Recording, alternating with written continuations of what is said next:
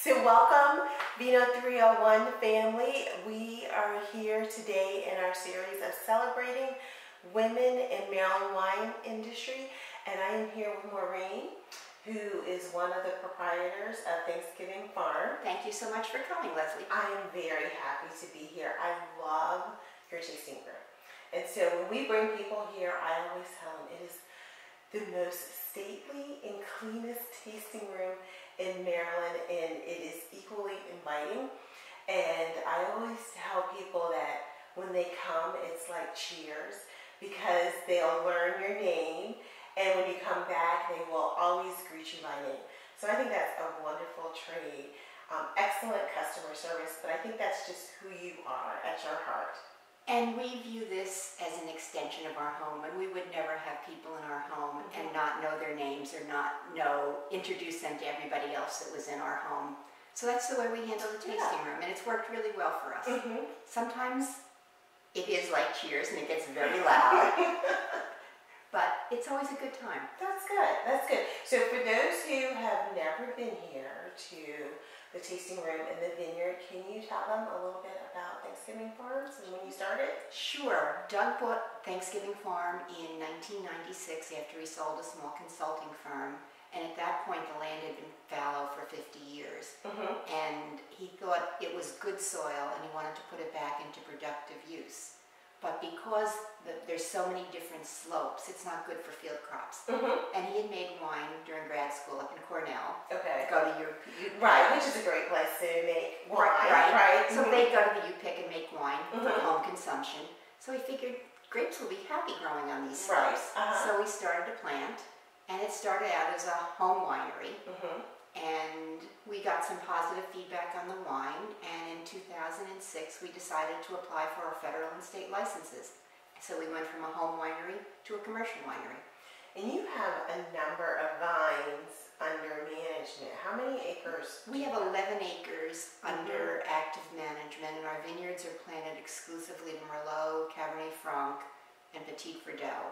We previously had a, quite a bit of Cabernet Sauvignon, but they're not happy growing here, and we Mhm. have come to accept that fact. So we're moving forward with the three varieties that are Right. happy growing here. Well, you do um, something that is very interesting and not uncommon, but interesting in a good way. Because you know how sometimes people say interesting and they mean like, well, kind of odd. But no, this is interesting in a good way. So you make a white Cabernet Franc, the We Franc do. Blanc. Our Franc Blanc, um, and our Franc Blanc, we are one of two wineries that we're aware of in the United States, and we are the first winery that we're aware of in the United States that makes a white Cab Franc. And we do that for a couple of reasons. Mhm. Number one, we don't have any white wine grapes, and when we opened the tasting room, customers said, "We wish you have a white wine." Right. Mhm. We had already known that we could get the juice off red Cab Franc grape and have it be golden colored. So we decided we would turn that into our white wine. And I it's been it. very pop, it's Yeah. been very popular. Yeah, yeah. So, um, can you describe like some of the tasting notes for people who have not experienced it before? Sure, right now we are pouring our Franc Blanc from 2017, our Dry Rosé from 2016, and three of our Meritages. We will have dessert wine when we open again in April. Okay. But our Franc Blanc is 100% white juice of the Cabernet Franc grape. Our Rosé is 100% free-run juice from the Merlot grape that Doug siphons off using the French process, which they call saignée, which means to bleed. Mm-hmm. So he pumps off some of the juice, and he ferment, we ferment that off the skins for our dry rosé. And then our Meritages are all Bordeaux-style blends, Mm-hmm. and the white, the Franc Blanc, and the dry rosé are not oaked at all. Okay. They're fermented in stainless and then fine filtered and bottled. Our Meritages are all aged for a year in French oak barrel. Mm-hmm. Um, a combination of the 20, the regular Meritage is aged in barrels that we've used once before. The reserve Meritage is aged in 100% new French oak.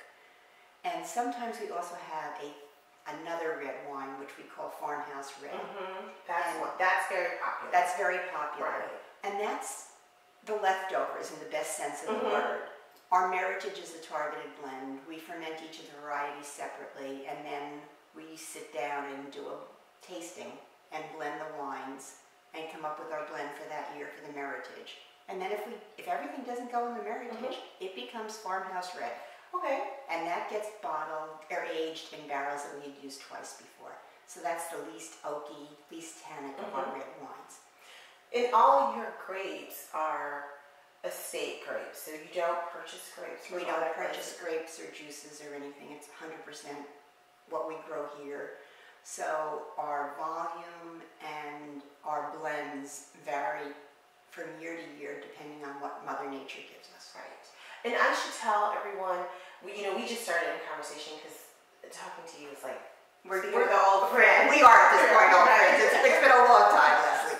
Um, but Thanksgiving Farm is located in Harwood, Maryland, which is in southern Anne Arundel County. And um, you are actually on a historic site, We are. and uh, it is a lovely piece of property. When people first pull up, you would see the high school, Southern High School to your right, Yes. and then you would see the cattle. Was The? Catterton Farm in front of ours, which is Progressive Farm, and they Mhm. do field crops and cattle and hogs. And that farm and our farm were originally one parcel until 1953 when it was subdivided. Okay. And so then when people come, because I know sometimes. It's intimidating. Right, and, and they get turned around, but you have the sign out front. We have a They sign. just drive past that. Right. And then it's like this awakening of the vineyard when you get to the beginning, the entrance. If they use the Google directions to Mhm. Thanksgiving Farm Winery, it takes you right to our parking lot. Oh, good, good. Waze has gotten much better too. Mm-hmm. Um, there are some services that take people to one of the subdivisions off one of the next major Yeah. roads down, Mhm. yes, and direct them to walk up the hill through the woods. Um, and then there's another set of map, online map directions that tell people to park at the Catterton Farm and walk Right. the next quarter of a mile back. No, There was one time, there was a bachelorette you were party. here, you were here that day. That was horrible. That was horrible because they were in their cute little dresses and high heels. and high heels and the um. the limo wouldn't come back. That is crazy. It was. Yeah, Because yeah. the roads, the road is narrow and windy, but right. it's not. But you can get a limo back here. Absolutely. Yeah, you definitely. And we can, you can get a bus back here. Yes, you can. Yeah, because our our vehicles come back here. Right, and we've had, uh, we do ag tours for the Soil Conservation District and things like that, and Leadership Anne Arundel, and they come on a regular bus. Yeah, so it is possible. So your background very similar to other women who are in the Maryland wine industry. Did not start in wine. You you have a career in the legal profession. You still have a career in the legal profession. So Well, I'm actually doing regulatory work. now. regulatory work. Okay. So why wine? How did you how did you fall into wine? Um, I always drank wine. Good. Um, always drank wine. Um, and when I married Doug in 2003, he had a home winery. Mm-hmm. So, you know, we, we were growing The wine came with the man. The wine came with the man, as did the three-quarter wraparound porch, which I think is a big selling. it, it, it was. It was a big mm-hmm. selling point for moving and giving up my license to practice law. Right, because you're from New Jersey I'm from and New Jersey. you moved down here to Right. Maryland. And I decided, I opted not to take the bar exam again at that age, at Okay. 53. well, it seems like you're a natural in the wine industry. We have had so much fun and we really enjoy it and we never anticipated how much fun the tasting room would be. Mm-hmm. And what a wonderful opportunity it is to meet nice, happy people every weekend. Unhappy people don't come taste wine. No, they don't. They, they drink scotch. I'm just joking. but no, I think. I mean, looking back at it now, do you did you see yourself here and having a tasting room and this part in your life? Um, before I married Doug? Mm-hmm. No. Mm-hmm. My grandparents grew up in Ireland and were farmers, and my grandfather always said that farming, living on a farm, was the best thing that anybody could do. But no, I never anticipated living on a farm and Mhm. growing, growing a crop and making wine. No, but it's been great right. fun. Yeah, he was right. He was right. He was definitely right. Tampa was right. So where do you see the role of women in um, the wine industry in Maryland? I think it it varies from winery to winery. You are so right about that. I mean, mm-hmm. and that's one of the things I love best about the Maryland wine industry. Everybody has their own business model. Everybody mm-hmm. has their own goals and objectives, and everybody runs their business a little bit differently. Mm-hmm. I think that what's that is what makes it unique, Right. but it is also what binds Together. together. Right. Um, you know, some women, I like working in the vineyard certain times of the year. hmm I don't like pruning because that makes me, it's too important. hmm But I enjoy taking care of the plants. I enjoy harvest. I love being in the tasting room. Doug does all the winemaking. Okay. You know, it's just not my skill set. Right, right. No, I understand.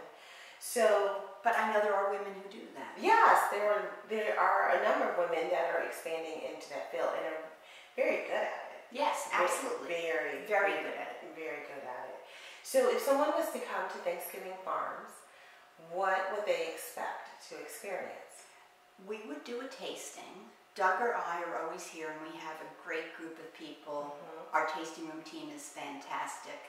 And we would walk you through each of the wines. A tasting takes about an hour here, um, sometimes longer depending on the, the questions and the back and forth. Right. But it takes at least an hour. We explain each of the wines, we explain our grape growing practices, our winemaking practices, a little bit about each of the wines, a little bit of the history of the farm because it is an historic site.